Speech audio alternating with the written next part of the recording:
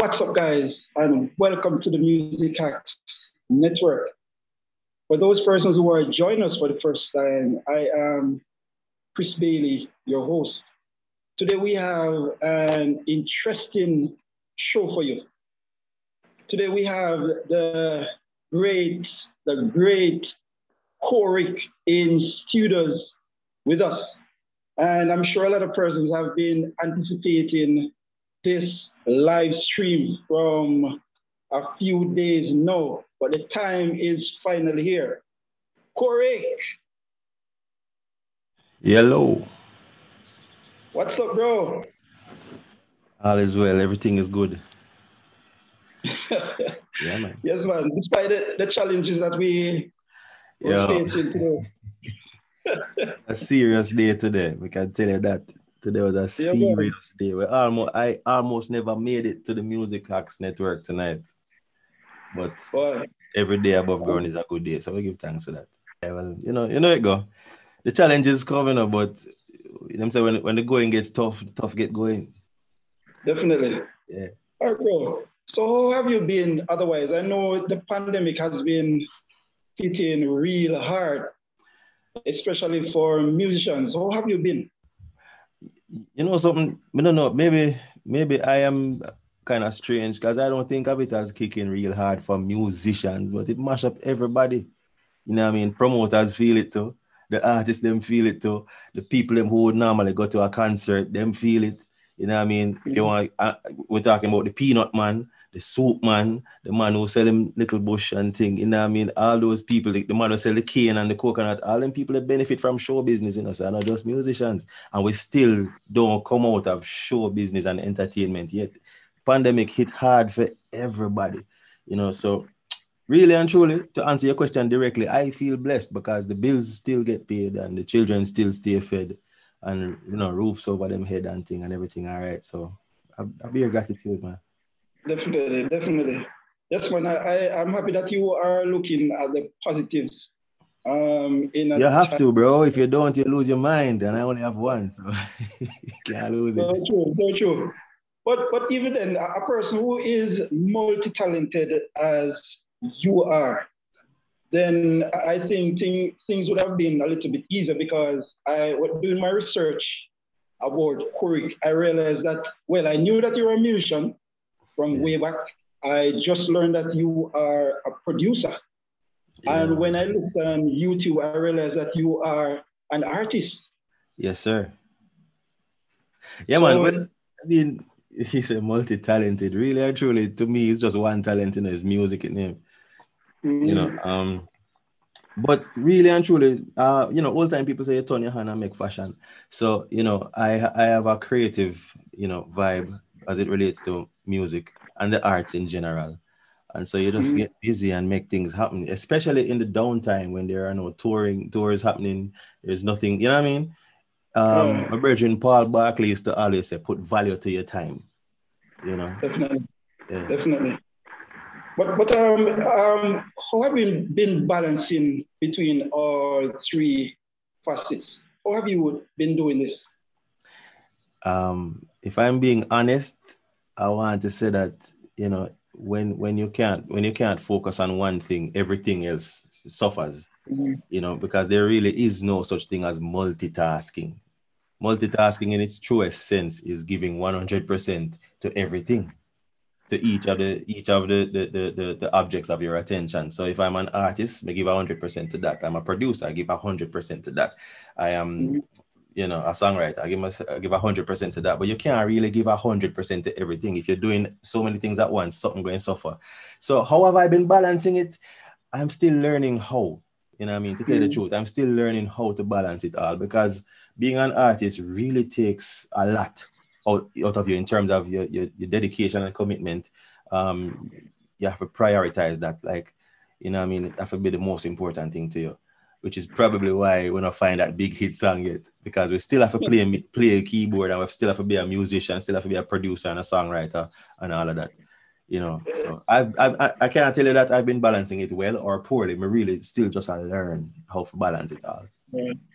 All right. Uh, um, for for our viewers' sake and subscribers, I, I definitely want to look a little bit more in depth into these three um, parts of, of music that you're, you're actually engaging. Yeah. But um, Koriq, K O R I Q. Yes, sir. Right? I realize that it is pronounced the same as your, your first name. Yeah, man. Uh, but, but what's up with that? Um, nothing is up with that. I mean, I, let me tell you the story. I I was doing a show um, quite a number of years ago, at least ten years ago, possibly more.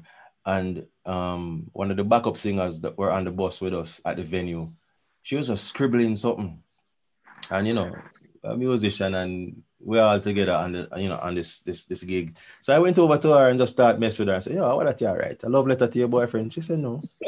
start laugh. And she said, you'd, okay. you'd be surprised if I show you what's on this paper. I said, show me. Oh. So she showed me the paper K O R I Q, and I was like, wow.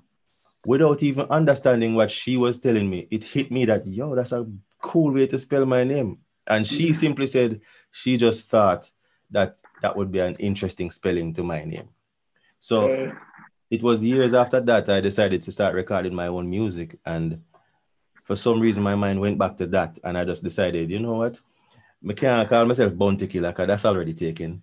I can't yeah. name and Virgo because that's already taken. I can't name Tarrus Riley. There's already a Tarrus Riley. So guess what? Me name Koriq. Koriq. yeah. Right. and I, I think that that is pretty unique. Give thanks, know? man. I appreciate that. All right. Um. So, uh, can, can you remember your, your very first time as an artist on stage? I, I've been watching a few of the clips when when Tarrus, when you guys are on tour and yeah. We call out the lion. Good and times. When, I'm looking for a lion, I realize Koriq shows up. You know? Yeah, man. Can, yeah, can man. you describe that? well, I mean, when them call the lion, the lion shows up. I mean, we don't know how else we explain that. But uh, my first time on stage as an artist, I don't remember exactly the date. It might have been about five, six years ago uh, at mm. Jazz and Blues Festival, Miss Myrna Hague um, saw me playing at a wedding and I was playing and singing, and she was apparently quite impressed. Mm. Uh, by then, I'd already recorded a few songs, one or two, you know. Uh. So she got in touch with me and, and asked me to, to, to actually be one of the, the main acts on Ocho Rios Jazz and Blues Festival, which incidentally took place at Hope Gardens in Kingston. so yeah. So um so that that event was my first time on stage as an artist and it was it was nerve-wracking and it felt really uh, weird. However it was exhilarating. It was the most amazing thing we had members of the black soil band um, on stage with me um, glenn brownie stringy um enough for them and it was just it was great. It was trust me it was a standout moment for the whole jazz and blues thing. Mm-hmm. yeah, right um, do you actually um, sign with any label currently? No, uh, I'm not. I'm not. I'm not a signed artist. I'm right now independent all the way. Um, in fact, my label right now, if you want to call it that, is Heartcour Productions. That's H E A R T C O U R Productions. Mm-hmm. Uh, that that is that is my label for the time being until somebody comes with an offer that that suits me. You know what I mean? Definitely. Yeah. All right. Yeah, man. So, guys who are viewing, you can definitely look at Koriq's YouTube page for some of his singles or EPs, right? It's, it's all singles for now. Still working on the EP. Okay. Yeah. All right. What, what, what's your favorite uh, um, single out of the lot? Um, I have a few favorites, uh, but you know what? Because the one I'm pushing right now is called Give I Faith. That mm-hmm. one is my favorite right now. why why is this song your your, your favorite? Uh, because it may push right now. no, well, well, to be a, to be a little more serious than that, is a song that's dear to my heart because it's one of those songs that just just it, it didn't take any time for me to write that. That song came to me in like an hour a lie. It probably took me about two days to write that song. And for me, a song that comes to you in two days is a really, really quick song. You know, from start to finish, it took about two days. Um, if I can tell you a story, uh, uh, we we went to Kenya um, Tarrus Riley, Black Soil, and all of us. We went to Kenya for, for a few shows. And when we came back to Jamaica, I heard that the hotel that we stayed in was was the target of some terrorist attacks. And people got hurt and seriously injured and all these things. And that the, the whole idea behind that song came to me um mm. give i faith. And if i go look up that song and listen to it. Yeah well definitely. Um so that was the, the creative process at that time for this song. Um how, how do other songs come to you in terms of the, the creativity? Yeah. Um, well, you know, sometimes sometimes a producer might might send me a track, and it's interesting because sometimes I love the track, but I'm not feeling any song, no song coming to me. And then there are other times when the track is, you know, uh, but but a song comes, you know. So you can never mm-hmm. tell when you will get a song. The way I look at my songwriting is the the songs I write existed out in the universe long before me.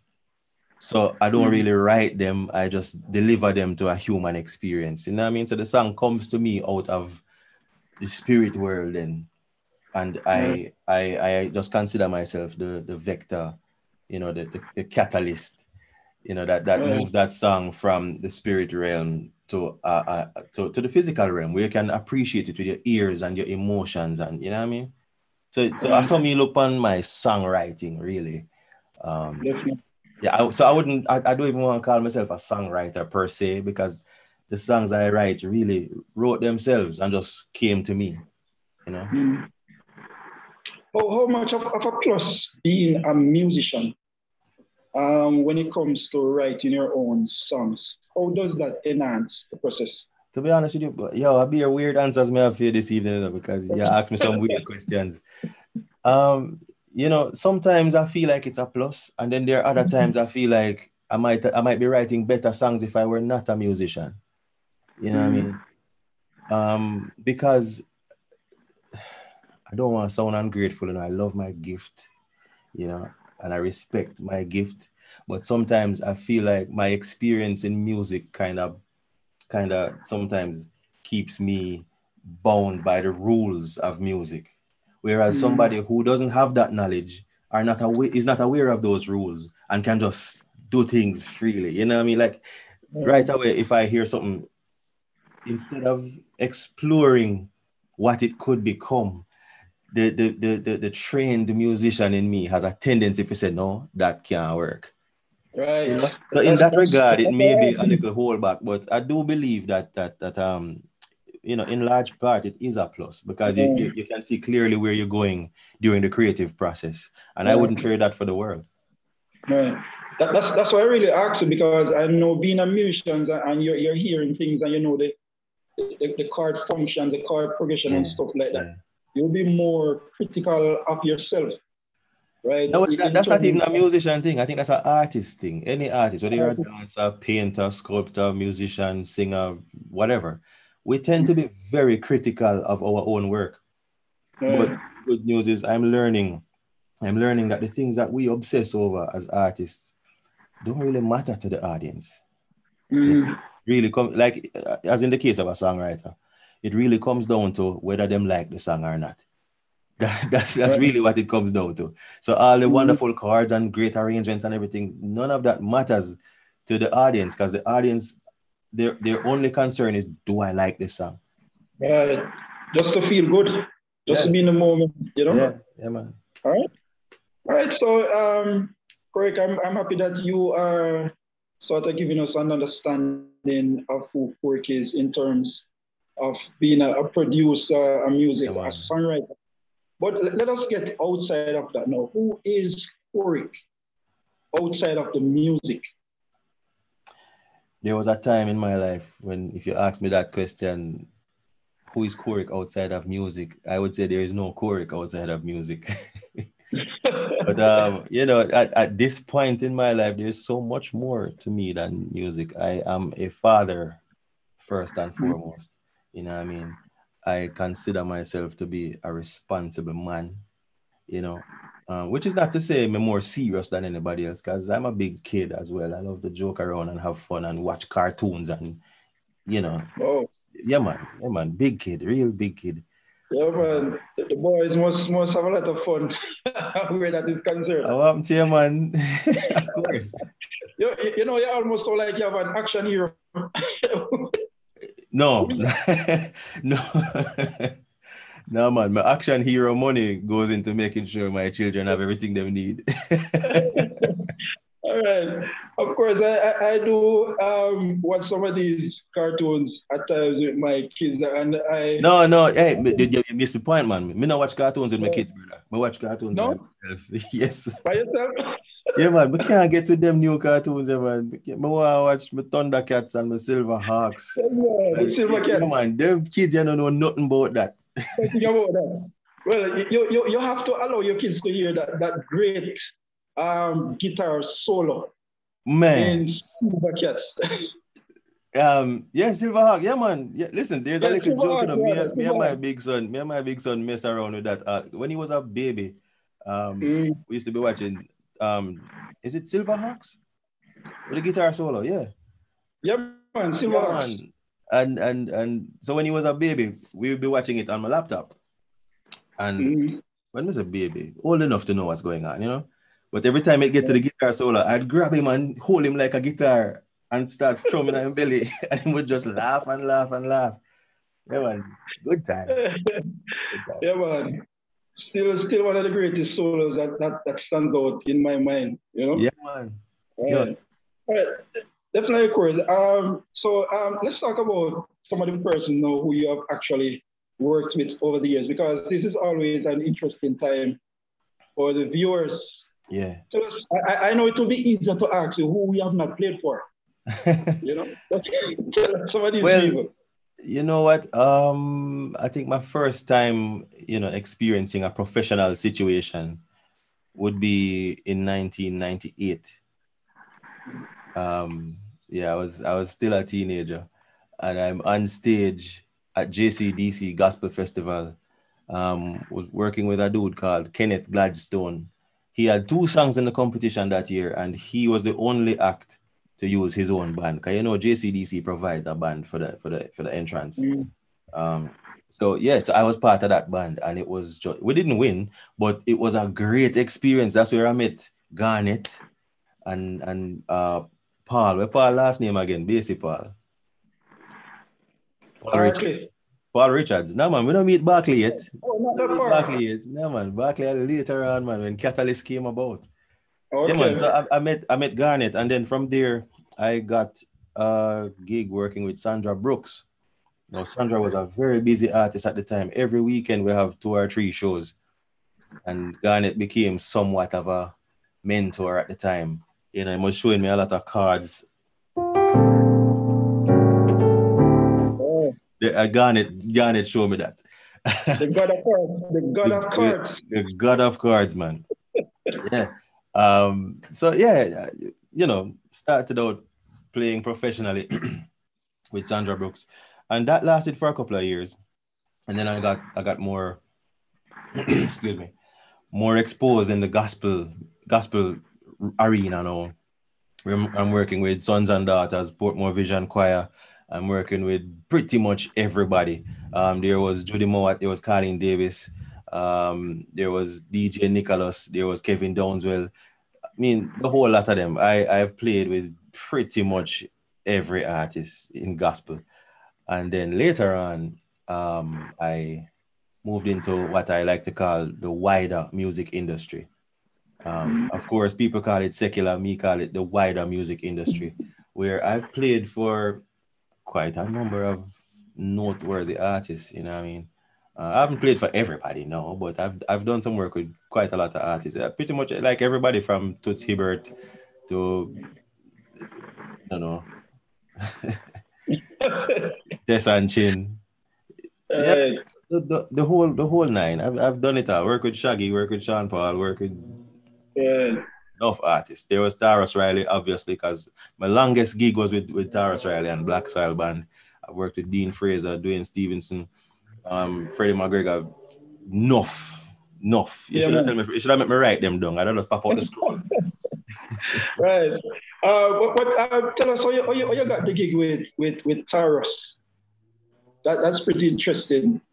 I was on tour with Queen Ifrica at the time in Europe, and uh, it, it, most of the shows we had, uh, Tarrus Riley was was was on the show as well as a, a fairly new artist, and so I was just very impressed with just the whole vibe and the sound of you know Black Soil Band and Tarrus as a as a I say fairly new artist and the way Dean Fraser, you know, just just just owned the stage and all of that. I was very impressed. So if if if we were on stage before Tarrus, then I would stay after we done perform and watch Tarrus. Mm-hmm. And if Tarrus was on before us, I would try to get to the show early so I could catch Tarrus. And that's how we treated pretty much the entire tour. And we got back to Jamaica, and within a couple of weeks of being back in Jamaica, I got a call from Dean I said, them need a keyboard player. Them keyboard player jump ship. So I was like, of course, let's do this. Next thing I know, we had one rehearsal and the next day was show. And you know, you don't get a whole heap of ratings for that, you know, for work with an artist like Tarrus after one rehearsal. But the fact is, I've been studying that show for weeks and weeks and weeks on tour. So oh. yeah, it was it was almost second nature at the time. So you know, yeah, man, give thanks that, for that. You know, that that that was gonna be my my my first, my next question. Mm-hmm. How did you fit in so well? You know. You know, interestingly, that's that's that's that's kind of what I want to talk about tonight when we get to when we get to that part. But yeah, how do I how did I fit in so well? Like I said, it was it was fairly easy because I'd been studying the show, you know, just being so mm-hmm. impressed with what was going on and just wishing I was a part of that band, and you know, it just came to be. You know? Right uh, bass player Glenn Brownie always said to me, luck is when preparation meets opportunity. So without even being aware of it, I was I was in preparation for the gig, you know, just paying mm-hmm. attention to the show and learning all the songs and everything. Um, and then we get the call, and that was the opportunity. So I guess I was lucky.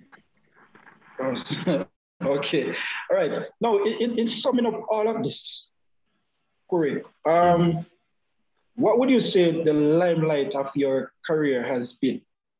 Wow. Um, wow. been so many highlights. Um, what's, what's been the highlight of my career? Oh, let's see. Um, you know, when when I started when I started at, at, at the Ocho Jazz and Blues Festival, that pretty much was the beginning of Koriq as an artist and you know i think that was just a, a, a, great beginning you know that's a great point in my career um, mm. as a musician um, there have been other points as well uh, for example when i when i was given the opportunity to open the show on tour in europe i think that was 2016 every night singing my own songs in front of thousands of people that was also a great great moment in my life um, as an artist um, yeah, I think I think that would be it. That would be it. Opening the show, mm. Tarrus Riley and Alaine on tour every night for five weeks. I mean, it, it don't get better than that. Uh, that that sounds great. All right, Corey, I know you have a great presentation lined up for us. All right, but um, before you actually not really, but I had. before you actually get into your presentation, I, I just want you to encourage the younger musicians because just as how you have um, you, studied the black soil band and when you got your opportunity you, you you fit right in and you embrace the opportunity and you did well. I know a lot of persons are watching for it now right? I know you are an hero to a lot of persons. How would you encourage some of these young musicians who are trying to get into the game? Well, this is music, so you know we we appreciate music through our ears. You know what I mean? So you have to listen. You really have to listen. Be an avid listener. You know, like listen aggressively. You can't listen like a like a consumer. You have to listen like a practitioner. You know what I mean? Listen, and also practice you know, what I mean, practice makes perfect. I mean, I'm I'm I'm a bit delinquent to the whole practice thing, but really, practice does help. Um, yeah, listen a lot and practice. And and you know what? The truth of the matter is, you know, there are things that might might trip you up as a musician. Certain things you feel like you can't do. Work on that. Practice it because the, the, the only reason one man can do it and the next man can't is in practice and you never practice.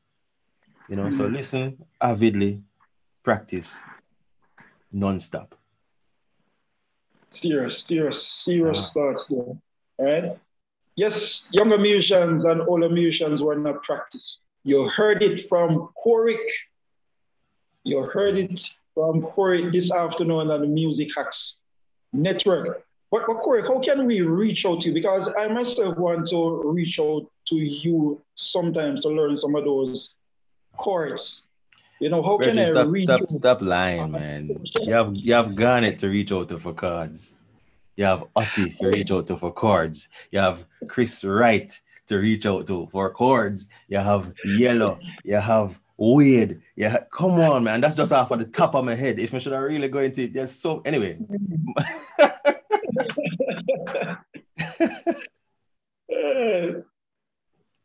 so can reach you on social media quick because I don't know what to say. you have some cards here, man. We, we really want to hear some of that some of that stuff tonight.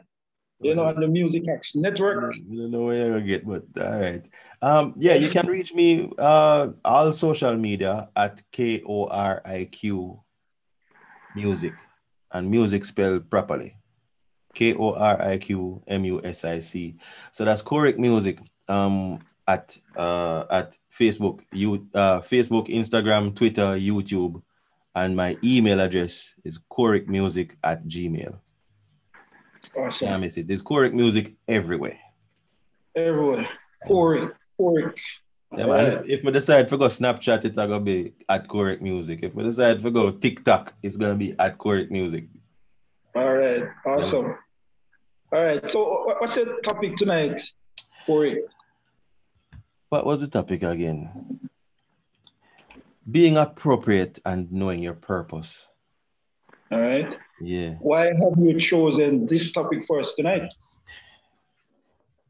Because I think it's I think it's a very important um, a very important thing for us to reason about, you know, as musicians. And I don't even want to consider this like a presentation, but more a reasoning. You know, mm-hmm. we can just hold our reasoning and just talk about it.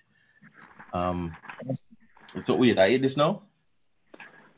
Almost, man. I, uh, almost, yeah, man. To, to, to, some of the persons who are on YouTube. Mm-hmm. You and we do have viewers and subscribers um, on YouTube, and I want to give all the persons who are out there a shout out. Welcome to the Music Hacks Network, and you are listening to the great man himself, Rick the producer, the songwriter, the artist, and the great musician. You know, and tonight he is going to. well, this is Music Hacks, man, and we are talking to a, a, a, songwriter, so we have to make sure everything is up on, on Music Hacks network. So also big up to the guys who are on Zoom. All right, I will not single you out as yet when we come to the Q&A, definitely we are going to ask the person to be more interactive. You turn on your microphone on your video, only in the Q&A, not in the presentation, all right? So you're allowed to turn on your microphone and open your video when you are um, talking to Koriq. So now is the time, Sir Koriq. I am going to ask you to take center stage at this time. So, ladies and gentlemen, boys and girls on YouTube and also on Zoom, I now present you the great man himself, Koriq. Yeah, well, give thanks. Give thanks. I appreciate the the invite to be on Music Hacks. Um, yeah. Well, so the, the topic for, for me tonight is knowing your purpose and staying appropriate. And what does that mean now? I find that a lot of the problems we have as musicians and with musicians um, stem from just not knowing your purpose or not being aware of your purpose. And because you don't really understand your purpose, you're not really appropriate. For example, I've heard well, keyboard players are notorious for this. we'll be playing some contemporary Christian music, for example, some white music, so to speak. And we're playing it with some really beautiful black type chords, you know, which um, may may impress other musicians, but don't really serve the purpose. Um, right. So it's a matter of just understanding why you're here. Let's talk about the purpose. Um, as in the case of church, because I know a lot of a lot of um, Christians and gospel musicians tune into music hacks. As in the case of any church service, I don't know that many musicians ask themselves or answer the question of why am I here? You know what I mean? Sure, you're a musician, you're playing this Sunday or Saturday or whenever. So you are here to play, but what is your purpose within the context of the service? Uh, for me, my purpose has always been, and I say always, like literally, my purpose has always been, as, as long as I've been aware of, of, of, of myself that way, you know, my purpose has always been to figure out what the vibe was and to use my instrument to enhance and push that vibe forward. You know what I mean? That has always been my purpose. So it never it never mattered. It, it didn't matter. It wasn't the most important thing that I was great with cards or fancy lines or anything like that. The most important thing was why. You know, why am I here? Why am I doing this? And this is something that I just needed to answer for myself. Once I answered that for myself, the people around me started to feel like there was something different about Koriq. And Koriq had this special anointing, and Koriq is just this great keyboard player. I've, I mean, I'm not trying to big up myself or nothing, but these are things I've heard. And I'm trying to show you that this, these things, these things are said of me in a church setting, not because I am so great, not because I am so fluent with lines and chords and all of that. No, that's beside the point. People feel what you're doing when you're doing it for the right reasons. When you when you understand your purpose, people feel what you're doing. So, for example, there may be a moment when I can tell that okay, what needs to happen now is that people need to fling up their hands and start bawling so my job now is to make the instrument suggest all these things without words, the, the instrument and the, the way I play and the sounds I choose to use and the way I direct the band, it's all supposed to just lead to that. Or what if it was a situation where the vibe was excitement and high praise and all of that? Then we have to make the instruments say that because a lot of times, if you notice, if you notice, dancers in church. A lot of times, oh God, I hope I don't get in trouble with the dancers. A lot of times, the effect of the dance really depends on the background music. Yeah. And so, and we're not even aware of the music. We just see these dancers and we feel like, wow, they're amazing. If you should remove the music from that, chances are it would lose a lot of its effect in most cases, you know. And this is because the music does a lot of the communication. It communicates not just with you on an intellectual level, but it also communicates emotionally, you know. And while I hear a lot of people in church saying, you know, the anointing is not emotional, you know, it's it's a spirit. The, the truth of the matter is music affects us emotionally. And if you can get your audience into the right emotional state, then you will always have the right effect. But this always comes back to what's your purpose. Is it? Um, if I might do a demonstration here, uh, let me try to turn up the keyboard a little bit.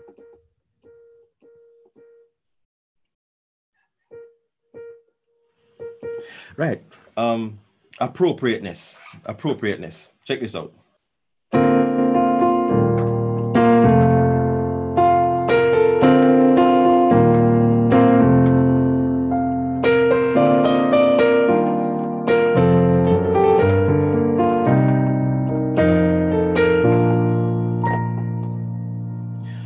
Check this out.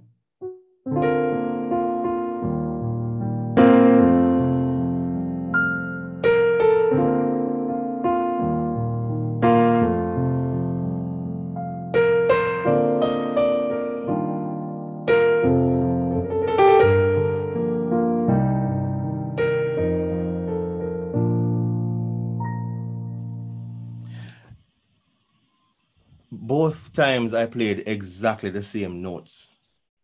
There was nothing different note wise. It was always the same notes. But just the way you approach the notes created a whole different vibe. You know what I mean? Um, so once again, we're talking about understanding your purpose. Once you understand the purpose, becoming appropriate is almost like second nature. It just it will just happen. You know what I mean? Them say once where, where purpose is not known, abuse is inevitable, or something to that effect. You know, but yeah, once you understand your purpose and you know why you're here, in other words, I'm not just here to play. I'm here to create an effect, you know? And that's just as it relates to church. The same is true um, if I'm on stage with an artist. I need to know what it is I'm doing, which is why we have rehearsals. But even in rehearsals, you need to be appropriate. So, what kind of artist is this we're working with? Is this an artist who is open to us just going, just going wild creatively, or does this artist want to hear back the song exactly how it's recorded? Because it's not wrong to embellish, but again, you have to be appropriate. So, who you playing for? Who are you working with? Does this guy want embellishments, or does this guy want, for example, I've worked with Beres Hammond, and Beres pretty much wants back the song same way how it record. you know what I mean? I've worked with Freddie McGregor. Freddie wants back the song. See, Freddie want back the song exactly how it go. We now go.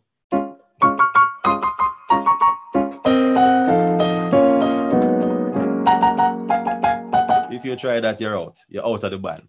You know what I mean? Um, if we're working with an artist like Tarrus Riley, for example, Tarrus is very much interested in capturing the vibe of the song, but not so much locked into playing it exactly as it is. You know what I mean? For, for Tarrus, you want to make sure so the song feel like the song. Yeah? But you are free to an extent to embellish and have some fun. If we're working with an artist like Keznamdi, for example, Keznamdi, great artist. I don't know if, if a lot of you know Kez yet, but Kez are gonna blow up big. Kez is one of them artists you know that he is he is crazy about music them way so that he will just leave you to just go crazy and he will suggest some crazy ideas as well. You know what I mean? So the point is you have to know who you're working with and what they want. I mean, we covered the church thing already. Now we're on to the stage thing, working with different artists, you know, understanding what they want because if you are the musician who I think Ati alluded to this uh, um, a few episodes ago, where you know you have to be appropriate. You have to you have to talk the language of your artist musically.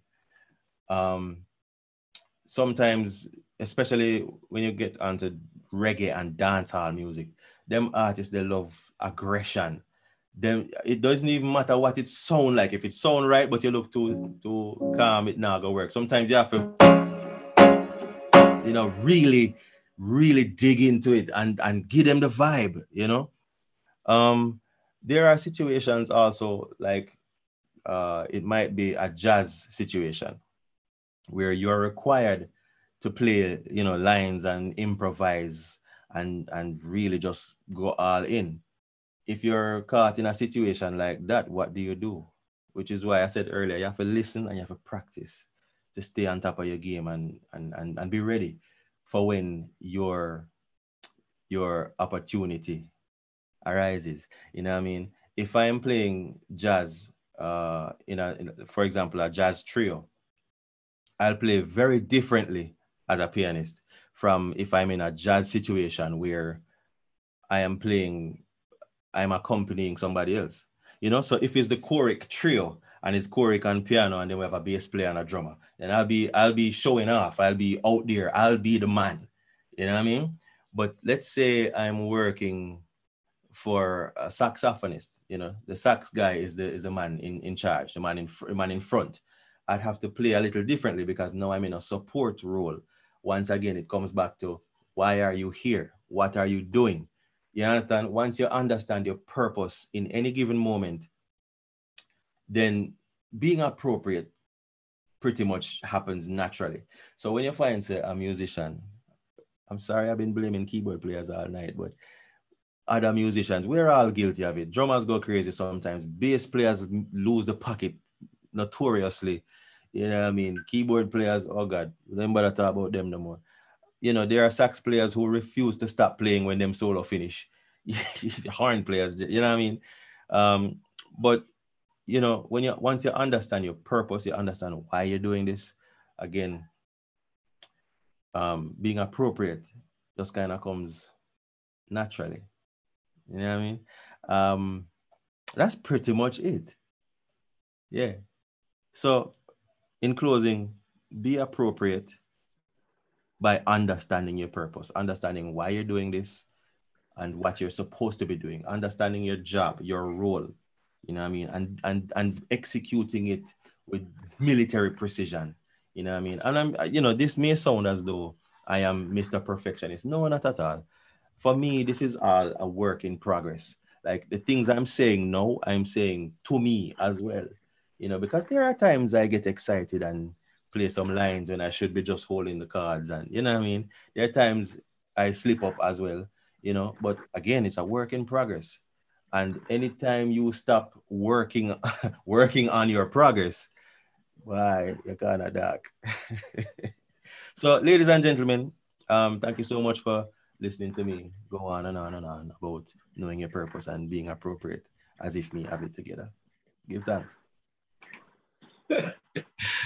bless up, bless up, Corey. Yeah, man, I, I thought you were gonna extend this another 10 more minutes, bro, because just as as we were enjoying this presentation, man. You know, you you you, you cut it off, but nevertheless, that was an awesome presentation, bro. Give thanks, man. I appreciate that. Respect.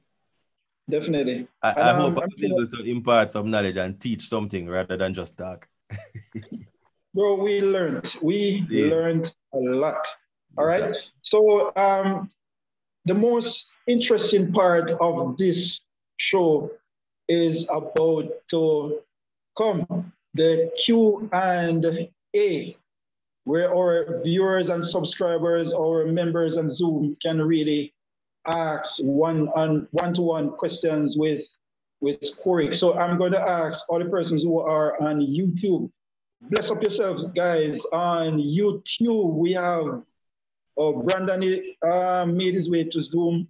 Big up yourself, Brandon. We have, we have Kalisha, we have Steve, Groove Doc, Marlon Campbell. Um, we have in JR, man, JR. Right now, I am in the studios of JR Burton, and he's on YouTube at the moment. Dale Haslam. Wow, big up yourself, Dale. Dale. We have Paul, the great Basie Barclay. Sir uh, B, Catalyst yeah, in the building, don't it? Catalyst. Um, we have Ronaldo Williams. And we have the, the God of Chords. Garnet there. The Wayne. Garnet there. There, Garnet Gibson. Makers of fine musical instruments. uh, we also have the Godfather, the legend, Delroy Thomas. Uncle Delly. Yourself, yes, man. Bless up yourself. So all those persons are on YouTube. Guys, I'm going to ask you to type your question in the chat so we can see them so Corey can reply to your questions. All right. Let me pick up all the guys who are on Zoom. All right. Bless themselves, Dom Base, Jermaine, the two Jermaine, Francis and Johnson, Jethro, Robert, Tajay. Uh, yeah, man. Bless up yourself. All right. So let's go. Everybody on this joint. The Q and A. All right. I'm going to ask you guys to, to have your questions ready on Zoom. Please don't be too, too quiet tonight. You know how we do it. All right. So, um, Corey, yes, sir. in terms of being a producer, who is the, the, the biggest name that you have actually produced for so far? Wow. Oh, wow. Um, I don't know. uh, uh, okay. So producing and producing an artist and doing production work are two different things. You know, I've I've done production work with I mean, oh God, oh, biggest name, Tessanne Chin, I guess. Oh. Um, I, I I'm heavily involved with Hideaway. Mm-hmm. Um, I think Dale Brown played bass on that as well. Um, Okay. I've um, Okay. I've I've I've done production work with with Toots, R.I.P. Um, enough artists, man. Kind of, kind of many. Duane Yeah. Stephenson, um, uh, Fire. Mm. Um, the names them kind of slip me right now, but they're around, man. Enough of them. Yeah, man. Um, definitely want to see you at the Grammys in the in the future. Wouldn't that be nice? Uh, that, that would be an awesome feat, bro. Yeah, well, it's a good thing you have me on music hacks now, because after the Grammy, me don't know it. nah, I'm kidding, man. Well, you know, definitely, it's, it's good that we can have you here before you actually get it. We can say, "Whoa, Koriq was here," and we actually um, motivated him to press towards the Grammys. Yeah, man. No, well, we did motivated long time, you know, so we're pressing. It, it, it's gonna happen eventually. Don't worry about it. Yeah, man, definitely, definitely. You know, it's what them say when, when again when preparation meets opportunity. Well, I'm prepared. Just opportunity just kind of slow, but it coming. Yeah, man, definitely. It's always great when you see our Jamaican, our fellow, fellow Jamaicans um, excelling in, in those. Yeah, man. And, and the truth is, I'm I'm I'm hanging around many many Grammy nominated musicians and musicians who have won Grammys. So you don't know if you're the Mhm. sum total of your closest friends, then Yeah, man, it's it's, it's coming, man. It's coming. definitely, definitely. Yeah, man. All right, let's look to YouTube. So we have uh, one from Steve D. says, Good night. How did you maintain focus? Or what were some of the rules you abided by on tour to remain to remain focused? on tour. Yeah, that, that's that's what I see here. Why, oi. All right. Um. Well, touring for for my first few tours, it's a it's been a learning experience. A lot of a lot of you know mistakes were made, but you expect that when you have new experiences. Um, staying focused. Really, come again now. Yeah, back to what I was saying it really comes down to understanding your role and your purpose. You know what I mean? Am I here to farm fool? No, I'm here to do a job. And the most important thing on the road is to make sure that you are present and capable when it's time for your job. You know what I mean? So the, the truth of the matter is it may seem like a challenge to stay focused on the road, but remember, I said this is this is my job, know. I'm not out there just having fun. This is my job, this is my work, is this is how I pay the bills and feed myself. And you know what I mean? This is how I afford to live. So it's, it's, it's serious business out there. So when you think about it like that, staying focused is Yeah, man. Definitely. All right. Bless up yourself, HJA Musical. All right. And I see the practice master here, the man who I'm going to take a page out of his book, Mr. Oral Brown. You know that name, correct? Obi, Obi. Yeah, man.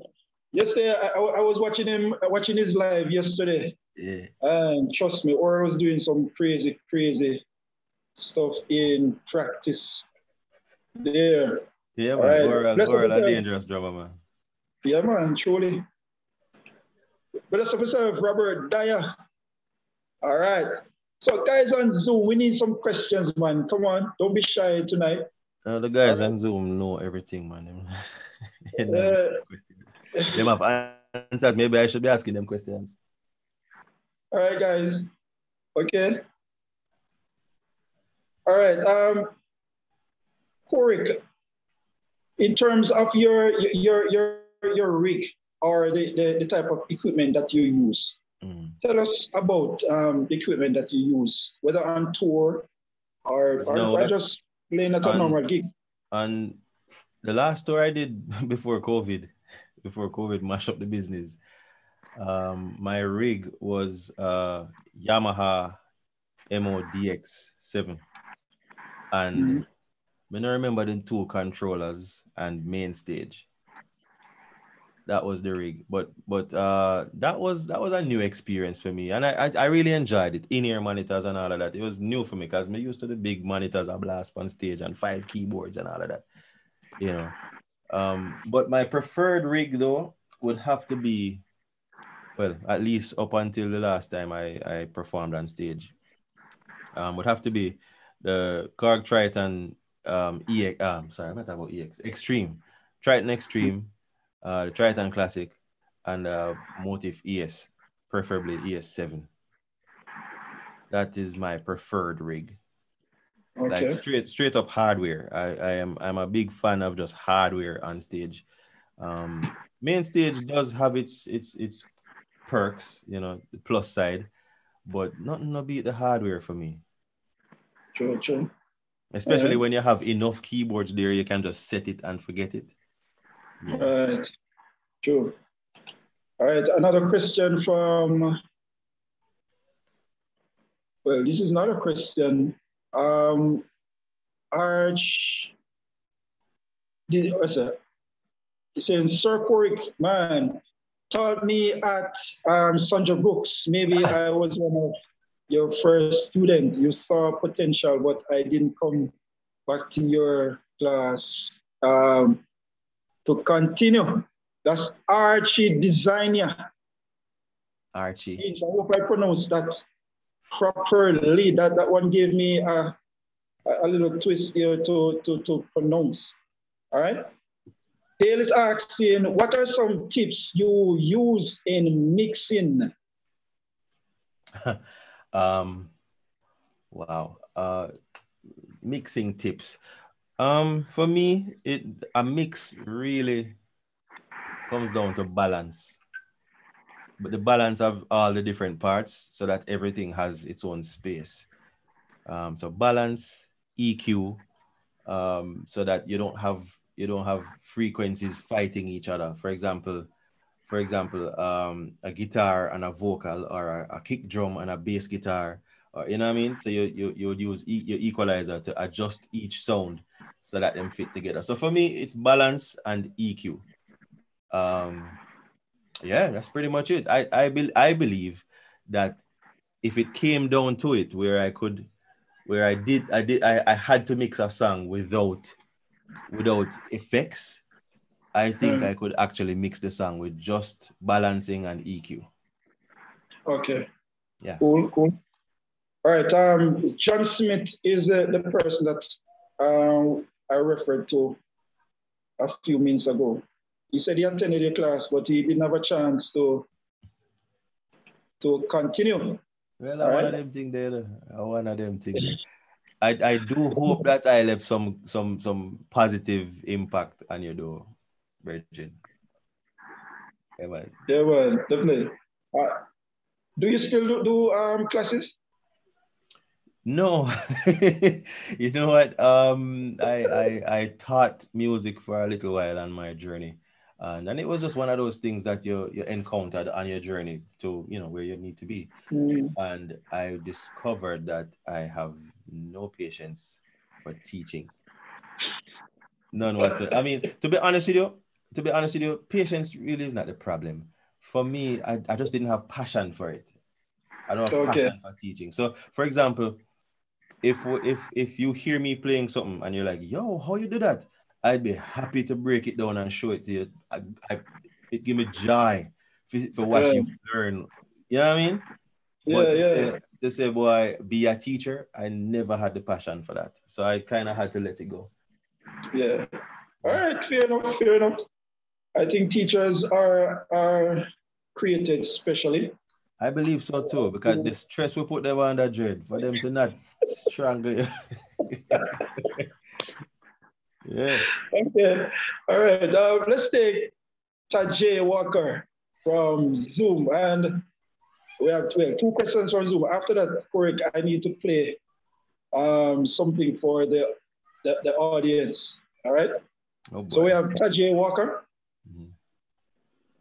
Mm-hmm. Welcome, Tajay. Greetings. Bless up, bless up. We're going, Chris. Bless up. All right. Um, my question, my question, um, as I'm being a musician, um, and you're an independent artist, mm-hmm. does it, does it, um, damper either of of of the, the roles so being a musician or being an artist itself does being a musician shadows you being an artist or does being an artist shadows well, being an, an musician? if if if i might if, if allow me to, to to be a little weird in answering this question. Um stevie wonder john legend alicia keys ray charles Koriq. you know what I mean? These people are musicians and these people are artists. And it doesn't appear to me that being an artist affects their musicianship or vice versa. Uh, so I do believe that you can be a musician 100% and be an artist 100% at the same time. Yeah, man. Yes, sir. Yeah, man, respect. All right, bless up, bless up. Um, Brandon, Brandon, you, you had your hand up?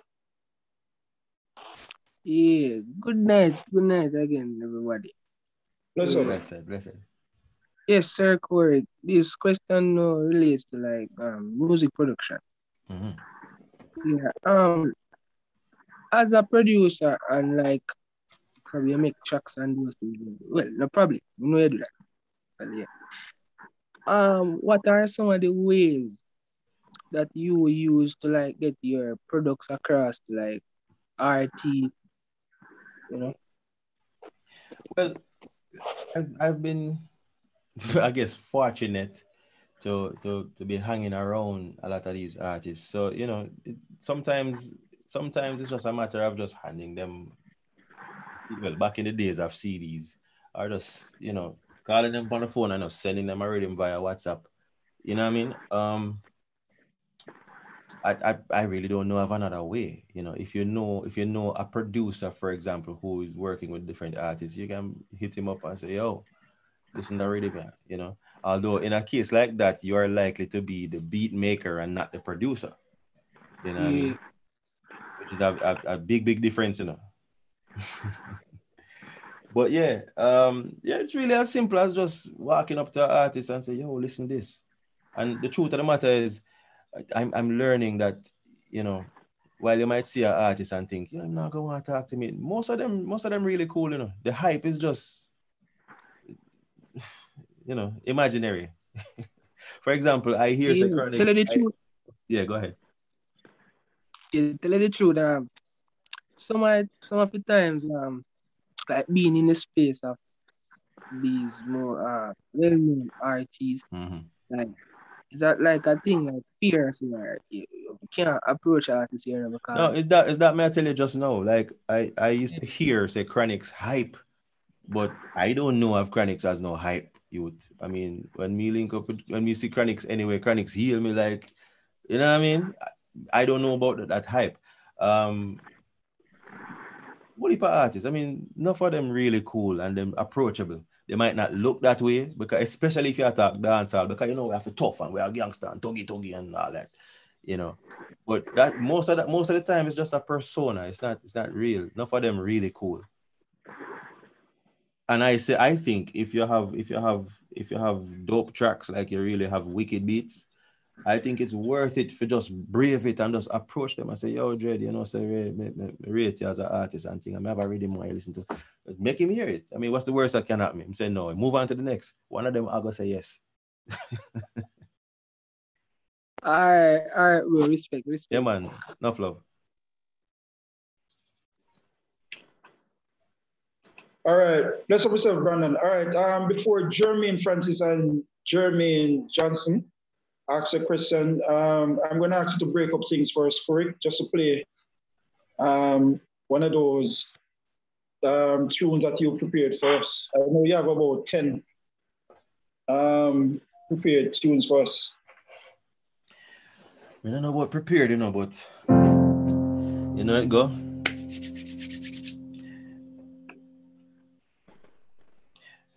Yes, them dread out a road I run red. I mean, no know if me I gonna make it to Road boys and police running wild in the streets, and it feels like a war zone. Imagine me work so hard and can't let down my yard, cause robbers want come take my own. Goodness and mercy will guide and protect me, so me know I'm not alone. But I need faith to go on. In a this yakiti I need your strength to hold on. Cause on my own I'm just not strong enough. Give I faith to go on. In a this yakiti I need your strength to hold on. Cause on my own I'm just not strong.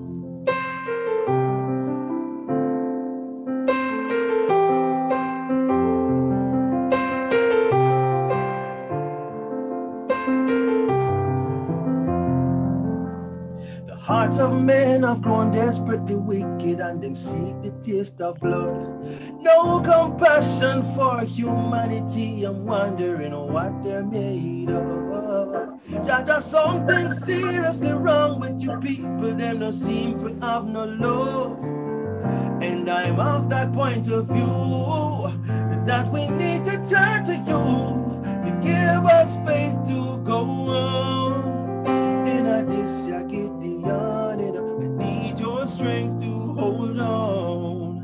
On my own, I'm just not strong enough. Give I faith to go on. In a this, I need your strength to hold on. Cause on my own, I know I'm just not strong enough. But if you stand with us, help us to rise up. Well, nothing can harm us. No, no, no. Because we know that even in this time, with faith, courage, and a just cause, David going still beat Goliath. So we pray and we wait.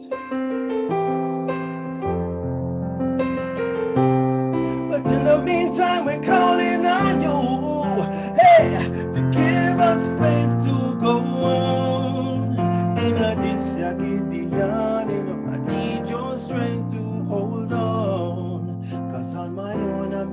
strong enough. Give me faith to go on. In a this I need your strength to hold on. Cause on my own I'm just not strong. On my own I'm just not strong enough.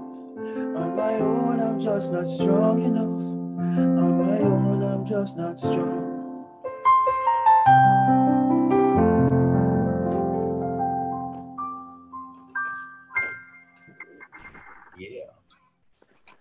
You are listening to the great Koriq on the Music Hacks Network.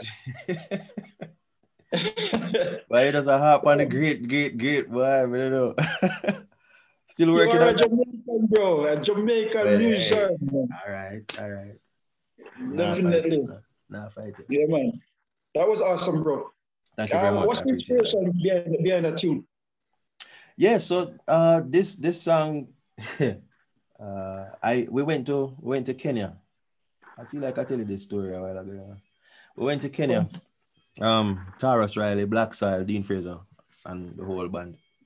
We did a few shows in Kenya, and we stayed at a hotel. Um, I don't remember its name, but when we came back to Jamaica, after a few weeks, I heard that that that same hotel we stayed at was attacked by terrorists. Oh. And people got injured, seriously injured and hurt. I think a few people might have died as well. It was a serious like bombs and thing. The place mash up. Mm. And um, I pretty much wrote that song within a day or two. Um, well, the song came to me over that period of time. And you know, no, it was just for me, it was just my heart kind of just reaching out to them people because Kenyans treated us with like like we like we were kings. You know what I mean? Mm. When you talk about hospitality, Kenyans through the roof with the, with the hospitality. The people um, practically worshipped us. You know what I mean? I, I don't recall ever feeling so much love from people, just, you know what I mean? And not just the people in the promotion team or the people in the hotel, but even when I walk out on the street where people don't necessarily know who I am, you know what I mean? The, the love is like, them just it's like they take one look and know say, okay, he's not one of us, he's not from here, but we love him. You know what I mean? Them really, them really the people them just full of love. You know what I mean? And that stayed with me. So when I heard that this travesty took place, it kind of just tugged at my heart, and I just wrote the song pretty much for them. But the truth of the matter is the way how things are going in Jamaica and the world, you know, I think the song pretty much fits everywhere. So you know, it's one of them things there. Awesome, awesome, bro. All right, let's take um, Jermaine Biggie Francis on Zoom. No, man, I'm not see the message. yeah, yeah Corey. Yes, I. Um, yeah, man. So my question to you now, all right, me know you as a keyboard player. You know, you know, all Jamaicans know you as a keyboard player.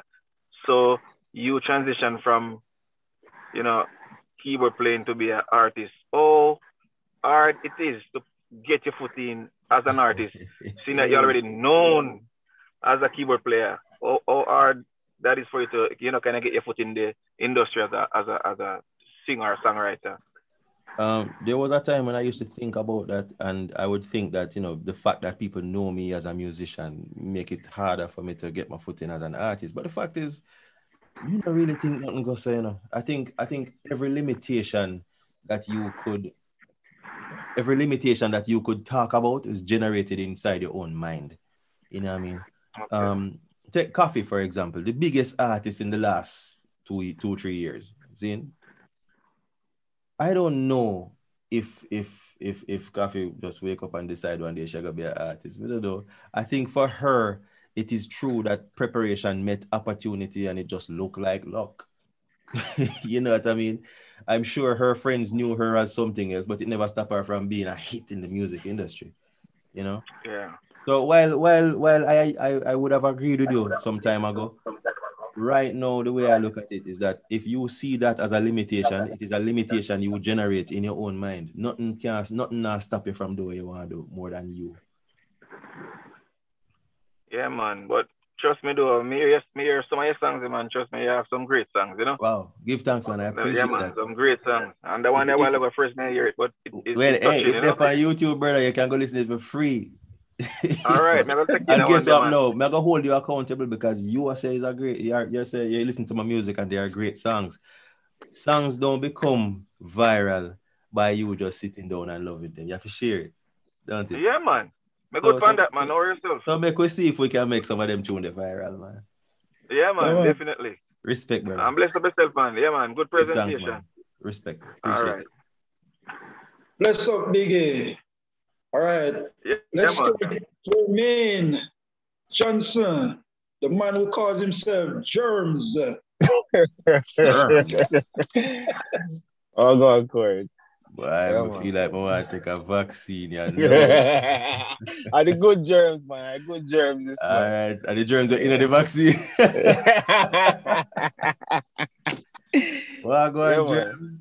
well, there, man. I go and take it easy. Yes, um, sir. Yeah, man. But one of my things, in what we need to ask you, like, um, sometimes practicing, yeah. right, can um can become weary or or some people that say boring then. Mm-hmm. Um, how do you like find material? Because sometimes you can you can't find something unless you, you can research something unless you know about it. So how do you like go about looking for material to like um, practice and, and stuff like that to to get better at what you do? Yeah, well, that's just it. Figure out what it is you want to do. you know okay. what you want to do. And if if there's anything about that where I beat you, practice it. Um for me though, uh how do I find material to practice? I stated earlier that you have to be an avid listener. You know what I mean? You have to listen to everything.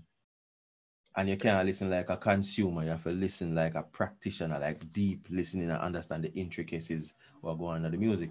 Um, uh-huh. if you are constantly listening to music, I guarantee you, you are constantly stumbling up, stumbling upon things you need to practice. Okay. You know, right, it's, right. it's, it's really that simple. If if you like, you're not going to really sit down and scour YouTube looking for music to practice. No man, look for uh music to listen to. Eventually, something going to hit you and you say, "Yo, that bad. How them do that?" And you sit down and practice that. But again, that is more like learning via like swatting stuff. You know what I mean? In terms of uh actual practice, you talk about practice can get like a little weary. Honestly, man, uh-huh. tell the truth, I hate practice. I do not enjoy it okay. at all. But, but for me, practice is not supposed to be fun.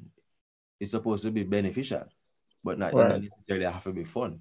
Um, right. So when I start enjoying practice, I realized that most of, like when I used to go to Edna Manley College, that's when I really used to practice. Mm-hmm. And I find that whenever I start to enjoy practice, it's because I'm playing something I like.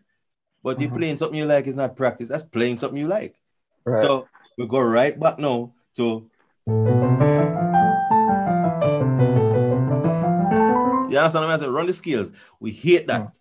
Right. Yeah, you may have stumbled over the scales because a long time in the practice that. The point I'm making though is for me, practice is not even supposed to be fun. So I'm not try to enjoy it. I'm trying to get the benefit of it. So at the end of the day, when me decide to start play, I don't have to think about what I'm doing because I've been practicing. So you know what I mean? Oh. So so just forget back to, to, to, to, to, the, to the question you actually asked me. Listen to just listen to music. Listen to everything. Listen to music you love, listen to music you hate. Listen all of it. If you must find something to practice. Right, right. Come on. Come on, bless up. Respect. Yeah, man, respect. Bless up, Germs. Yeah, man, big up oh, yourself, Chris. Florida. Yeah, yeah, can't believe that. German, yo, Corey, Corey, Corey might not remember me, you know, but like a couple years ago, like Glacier, um, we were doing a show with Code Five, Code Five, and, and Glacier was we were back in Glacier, and Glacier bringing Corey as one of, as as his keyboard player, his MD, and oh, trust me, the, the show, the show, the show, the sound system, everything like get trouble. But when you listen, I have some recording at, at the re- rehearsal and stuff like that. It was awesome. Yeah, like, thanks, brother. Send me some of them recording them, man. Yeah, man. Me still have them. If it, um, me still have some on uh, my, my Instagram page and whatever. So me, I'll send you some still. Yeah, man. But yeah, man. It was, it was, oh, it was. Oh, I hear that. Oh, I hear it. Respect. Yeah, man. Yeah, man. It was a good, good, it was a good experience for me and the other guys. Respect, man. Yeah, man. Bless up. Mm. Cool. All right. Um, bless up to Cornell Bent and Elisha West. Those persons are joining us on YouTube. Um, this is a great, a great one. Um, Corey, who, well, based on what you said, Oral would have been in black soil before you, right? Yeah. All right. Now, Oral is saying this on YouTube. Corey has always been an inspiration to me especially in how he approaches the instrument. Well, wow. You see, hear the thing now. Oral has never said that to me ever. but guess what? No, yo, but I like that is that is really a pleasant surprise. My speechless not to back foot for real. Oh my God. Give thanks, Oral. Give thanks. Yeah. You know something though, and I have said this to Oral before, but see me have the internet and the whole world for say it to you to know. Oral has always been one of my favorite drummers. Well, I shouldn't say always, but um, especially in the last half of my tenure with Blak Soil, which which would span about six, seven years, because I've been with Blak Soil for, for quite a while. Mm-hmm. Oral has been one of my favorite drummers, like of all time. So yeah, man, it's, it's good for know, sir. I, I've I've inspired you, Brechin, for real. Yeah. A long time I not see you oral. Big up yourself. Bless up, my G. well, um, you um, you guys attended Edna at the same time, right? Uh, did we? I, I remember seeing oral at Edna, but I don't. I, I know. I think I was there before. I was oh, there before. Okay. Yeah. Because awesome. when I left when I left Edna Manley College, I I was back there almost every year for about six years playing at everybody's final year show. so, so, so, I would have seen Obi. Yeah man. Right, right, right. Cool. Yeah man. All right. We um yes. When um, he used to wear the thumb and tell everybody his name is Daisy Jones.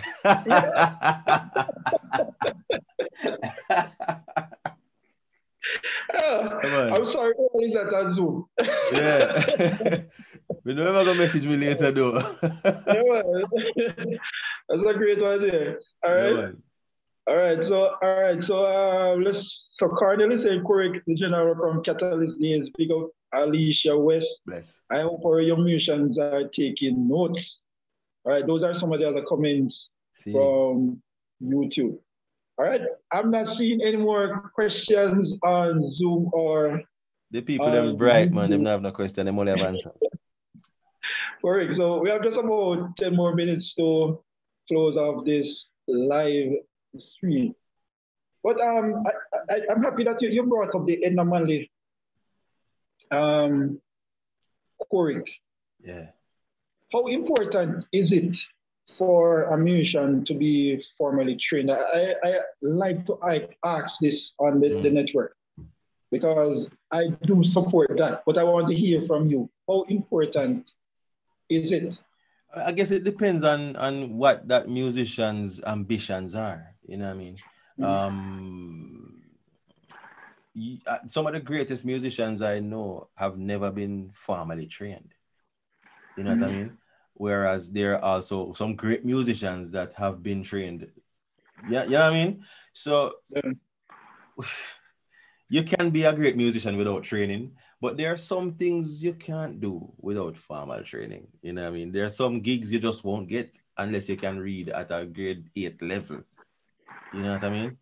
Um, so that, that's why I say it depends on what that, that musician wants to be doing. If you don't intend to ever need formal training for whatever gig that for you know making scores or anything like that and you don't need to be trained. You know what i mean? But my point my view on that is if you have the opportunity to be trained regardless what your ambitions are go get trained. Mm. qualify yourself. You know what i mean? Be be not just somebody who does this for a living but be somebody who is qualified. You know if you have the opportunity to do it go do it. Don't hesitate. Don't wait. Don't don't shy away from it but if life never deal you that that that that hand, still go out and be the best you can be with or without your training. You know, mm-hmm. that's how I look at it. I hope I hope that answered the question. Yes, man. I, I do endorse that response. Yeah, man. Respect.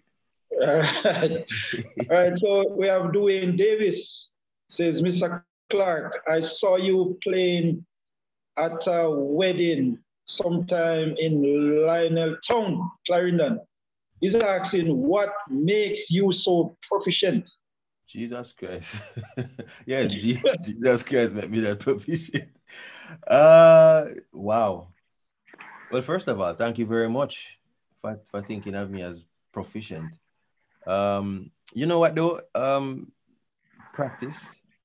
Because there was a time when I practiced daily uh, and and really and truly don't just leave you like that you know. You, truly if you don't use it you lose it but it don't just leave you like that especially if you keep working if, if you keep playing you know.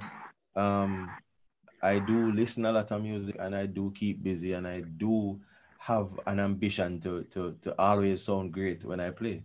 I'm not always successful at that but you know we do get it right most of the time. So give thanks. Um, what makes me so proficient? I would say, you know, practice and practice in the sense of deliberate practice, running your scales and your modes and learning your chords and arpeggios and all of that, and practice as in, you know, you keep working, you keep playing here, there, and everywhere. You, you will get better at it. So you know, experience experience is a great teacher, and experience has a way of sharpening the tools you know what I mean? So gain the experience, go play, just keep playing, keep doing it, keep busy, and you know, you, you, chances are you will become better at it. Awesome, awesome. All right, um, Paulus is here with us on Zoom. Paulus can't ask me nothing. Me have to ask Paulus all the questions. Paulus, Greetings, you can hear me loud and clear? Yes, man. Yeah, man. Watching Give thanks and, and yeah, man. Sorry, I will watch back Koriq's presentation because I just come in from Champs working. Um, so I know it would have been great. Um, but I just wanted to add my little piece, and I'm glad I'm able to catch Mr. Coric live, Mr. Clark live, because he has impacted my musical career in such a way that I don't even know if he knows that. I guess that he has impacted me, Chris, because one of my first times going on tour, which was the Cayman Islands, was to go with the, a group named Martin's Heritage. And the only reason why I got that opportunity to go is because Corey Clark could not have made that event or that small tour. Yeah, so I went with a, a very well known drummer who Corey knows that played for them at the time. Derek. Brother Derek himself. Yeah, and I remember when the leader came to me and said, Boy, Corey can't make it. Are you available? And I said, If Corey can't make it, and if Corey is okay with me going, why not? All if me never available. I was working and I found time to say if I can represent and stand in the gap for Corey Clark, that meant a lot for me and that bolstered and bolstered my career. So I wanted to tell you thanks, Mr. Clark, in this public forum yeah, for that opportunity. Many years ago, I still have the pictures to this day, both on Facebook and personally, because I got that opportunity. So I didn't see it as a bad thing for you not going because it was other engagements, I think, at the time with a very good group called Catalyst, I think, if I can remember. Might but you were right engaged at the time. But because of that opportunity which you had a big opportunity i gained an opportunity and became a better musician through that opportunity knowing the shoes i had to fill at the time. So i want to thank you personally personally from the bottom of my heart for that. thanks man. I appreciate that Paul. So, Jano, Jano. and i've seen you grow question. you know i've seen you grown over the years to become an accomplished producer and musician that a lot of us as younger musicians look up to. So we lift our hats off great father you are, great mentor musically, and you are someone that we can call and ask on anytime. So I want to tell you thank you from my heart and as musicians who look up to Mr. Clark. Respect, thank Paulus. you. Respect, respect. You know, so I want to add something to, to what Paulus just said. You know, the one said, um, because I got an opportunity, it opened up an opportunity for him. And why it is so interesting that Paulus would be the one to say that because the truth is one of my bigger opportunities as a keyboard player came when Otti, now you talk about great, the great. Othniel Lewis had something else to do, I'm not sure what. And I got an opportunity to play for Kirk Franklin. Whoa. Because Whoa. Otti was busy. Mm. I think I have a picture, and that, that was I, I, think that was probably the second time I was playing for Kirk Franklin. I played for Kirk twice, two or three times. Let's say twice, just to be safe. And I, and there's a picture on, on my Facebook where it's me and Paulus that stand up behind the keyboard after the show. That's a whole reasoning. yes, that is very true. Very, very true. And again, Chris, as you can see, I was able to stand up beside the general who was playing for the general on behalf of the bigger general. You understand me? and I got an opportunity that's to be on that stage, as, on as that show. go. You understand me? A man get an opportunity, another and that's how the doors are opened. And I mean, to just, learn from and to be inspired. Yeah, man. So we give thanks, man. So I just wanted to add that little bit. I'll yeah, be man. definitely liking this video and I'll be watching back the presentation and I will always be able to message you afterwards if I have any questions, which I will have questions. Respect, Paulus. Bless up. Bless up, Paulus. Awesome presentation from Paulus last week. And in case you missed that live show last week from the man himself, Paulus Simpson, go over to Music Hacks Network and view it. All right. Uh, let's look into YouTube. Um, I'm sorry for you know because I know the questions are rolling in Nothing on wrong, YouTube. Man. Nothing wrong. All right. So just remember, I say I don't know is a very good answer. so true, so true. All right. Well, Elisha says, I hope. Oh, we took that already. Um. Yes. Yes. Let's take one from John Smith. Who were your early influences Hmm. All right. And how do you approach songs for the first time hearing them? Early influences would include um, John Williams. You know, most know mm. John Williams, one of the yes, greatest man. music. I mean, every ad on Jamaican radio is John Williams. you know what I mean? John had an album called First Fruits with Rowan Reed, and it was just one of the one of the the, the foundational building blocks, you know, of, of my whole approach to music. Um, there's John Williams, there's Maurice Gordon, of course. Um, there was early influences. Matter about real people that were like people we know, you know. Mm. you know. Um, who else?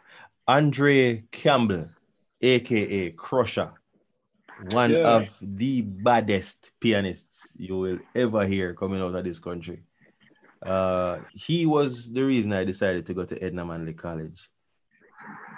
The man, just oh. that. Um, in terms okay. of like international now, well, first of all, there's gospel.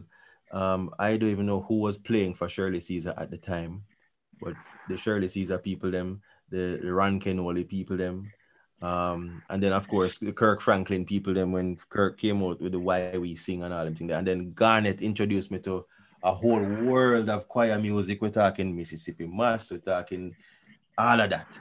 Uh, yeah. And then of course there was Morgan Heritage. Them man, they mm-hmm. influenced my music to some levels. Um, yeah, and uh, you know, and and you know what? I, I, I, it would be a mistake if I should leave out Catalyst. That entire Catalyst experience was a big part of shaping who I am as a musician.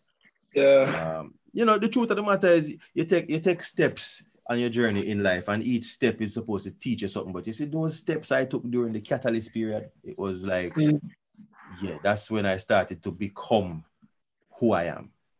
Uh, that's right. But yeah, hopefully that answers you. Who was it that asked that question? Yeah. Yeah, man. Uh, yeah, we did enjoy that Catalyst era, bro. That was a great time for us yeah, as man. musicians. Yeah. And I see my brethren Jethro Reed you know, on Zoom. Big up yourself, Jethro. One of my, my, my, my little my little nephews, my little musical nephews. One just grew up and turned yeah, one piece of bass player. Greetings, greetings, greetings, greetings. Yeah, man. Yeah, man. Jethro is a home star music act network. Oh. Yeah, man, every day. I, I want to squeeze in one quick question now. Jesus, here we go. Yes, Paul. Quick, quickly. I know you are an accomplished musician as well as a father. Hmm. And I remember not not busting your business where I went on a little trip and there was Koriq with his two boys on a trip and making sure that his sons were enjoying himself at the beach, at the river. How do you find the time sometimes to spend that family quality time with your boys? And these are boy picnic you know, and boy picnic different from females. Because they sometimes demand that father figure up looking, you know. How do you work that time between being in the studio producing, staying up late at night, then on the road doing shows and to spend that family time. I don't know if that question was asked before, but how do you balance and find that time to be the father figure, to be the great father you are, but yet still to still be the accomplished musician you are? Well, um, wow. I don't think I've ever been asked that question before. I never even think about it really. Uh, for me though, uh, my my my two sons are my favorite people in the world. Like very true. Are my very true. people. You can't say that. Very true. I, I, well, give thanks. May not even say that just because they're my sons. I've gotten to know them as individuals, as people. Forget about the relationship. I've gotten to know them as individuals, separate and apart, like just people. Like how me know you, Paulus, me know my son them. You understand what I say? And they are just just when you listen to them talk, when you watch them personality, when you see who they are, they are my favorite people on the planet so then, everything else kind of falls around that. I, that doesn't fit into anything. Everything fits around that. I hope that makes some kind of sense. wow, yeah, because I know you're on the road sometimes and you know for some considerable period amount of time as well. So you keep that communication even when you're on the road with well, them as much as possible. Me, and when you're here, bit... you try to be round yeah. them as much as possible. Let me let me be a little bit fierce to do with the world as it is now, with the technology that exists. Anybody who tell you say them them they too busy, I lie them I tell. you can't too busy to talk to your picnic them, man. Thank I you very I, much. I might Thank not be able much. to talk to you right now, but I'll call you back as soon as me free up. You know what I mean? That's that's that that's that's how I you know. Like I said, Thank, they thank don't you very much for answering my anything. question, sir. Yes, Yeah, man, thank you very course, much. Yes, everything around them, and that that's Yeah, a good example for us who would like to have kids as musicians and to know how we can then therefore strike that balance. Thank you. Respect. Let's up, Paulus. All right. Um, final question from YouTube. Um, you spoke about um, the usage of softwares or DAWs. I think correct. Um, you, you mentioned MainStage. Um, there's a question here. What is your preferred DAW? Preferred? Well, I have always been on Nuendo uh, or, or Cubase. Um, outside of that, I like to mix using Pro Tools.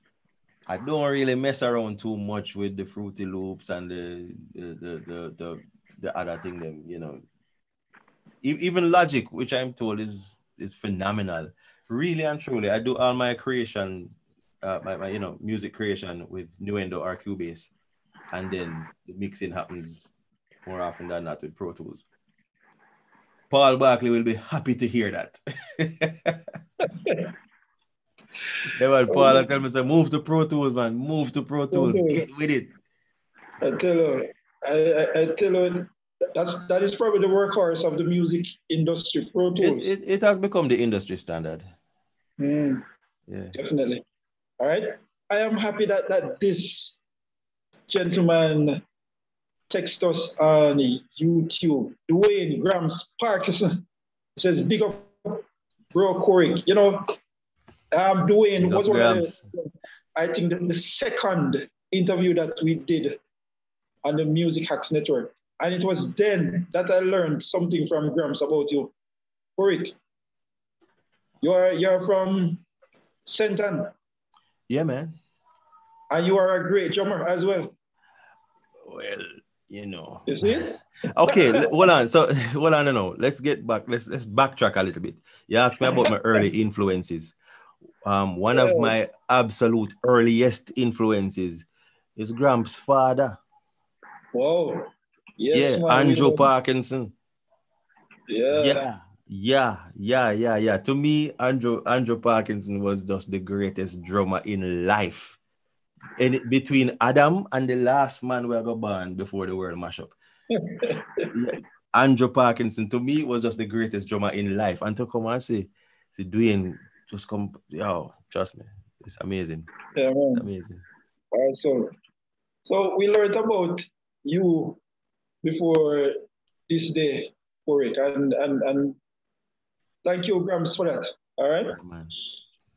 So, um, Koriq, we are about to close this live stream. It, it has been a very productive show. We learned a lot about who is Koriq. And we do thank you, sir, for taking time out of your busy schedule. Look here, no, man. Doing this, doing this live stream tonight made my day a busy day. Yo, I swear. being on the road, I tell you. But you know what? Give thanks. I really appreciate being asked to, to come on and and and you know be a part of this whole music hacks thing because I've seen a few episodes and yeah, music hacks really are going with things and the caliber of musicians that that that come on here, you know, one would almost feel a little out of place, you know, but you deem me worthy and you know people tune in and I watch so you know it must mean that I'm doing something all right you know so give thanks man I really really appreciate the opportunity and you know yeah man man. You're, you're too modest, bro. That's that. We we leave that, we leave that right there. Yeah, right, man, so yeah, man a real thing man a real thing yeah, man. So before you go, or before we leave, I'm going to ask to play one more tune, if you do not mind. All right, while we take our leave. I kind of mind still but the truth is a music hacks so we did sign up for this Yeah, man, definitely. Paul Barkley said, "Yeah, Koriq, PT, we say." yeah, man. Pro Tools all the way. What shall I play? You know what? My artist, I'm gonna play one more of my song. Um, hmm. All right. Uh, he, uh,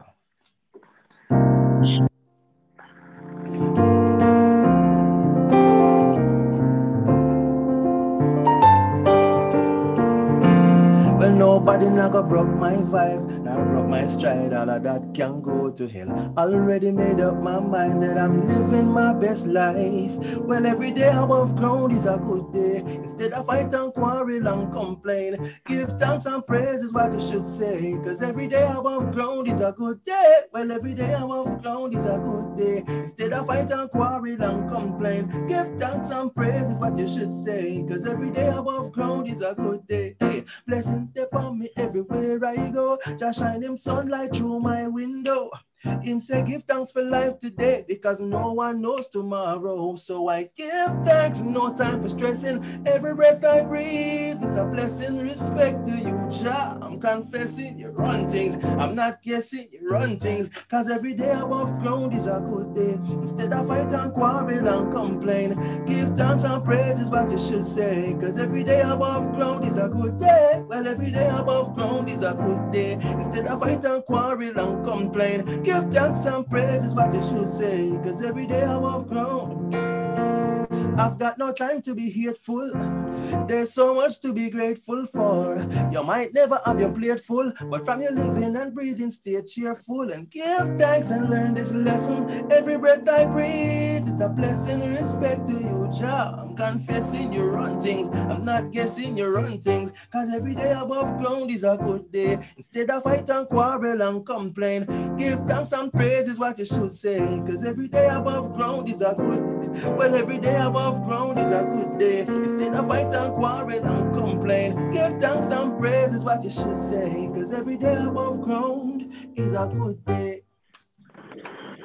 Yeah, man, yes, bless up. Sir. Bless up, Koriq. Respect, respect.